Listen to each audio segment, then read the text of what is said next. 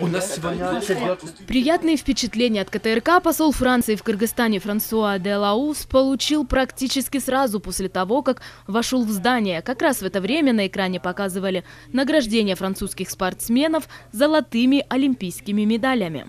бүгін мына бейжің олимпиадасында бұл француз спортшы бірінші болып мара сызығын кесіп өтті Для высокого гостя провели экскурсию по студиям и кабинетам корпорации. Стоит отметить, что посол был впечатлен тем, какая богатая история у здания, построенного в середине прошлого века. А еще больше его впечатлило то, что оно оснащено самым современным оборудованием, что позволяет выполнять масштабную работу.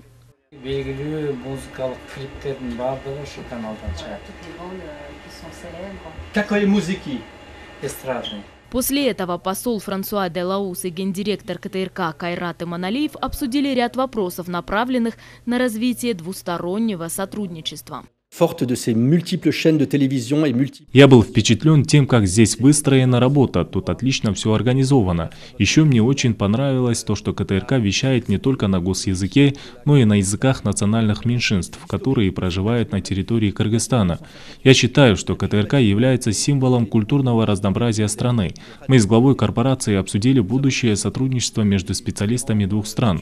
Французская сторона очень заинтересована таким сотрудничеством, и оно еще больше укрепит нашу дружбу.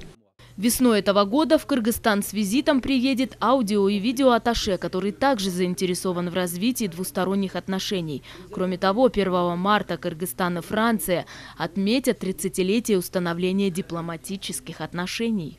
биздин корпорация бардык ушу мамлекеттер менен Мы договорились об осуществлении ряда проектов, о конкретном сотрудничестве, в рамках которого будут транслироваться радио и телепередачи Франции. Есть много интересных задумок, и мы будем осуществлять их.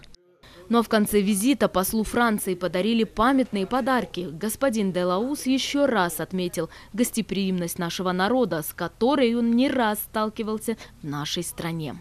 Елена Ткаченко, Тимур Садагалиев, Алато 24.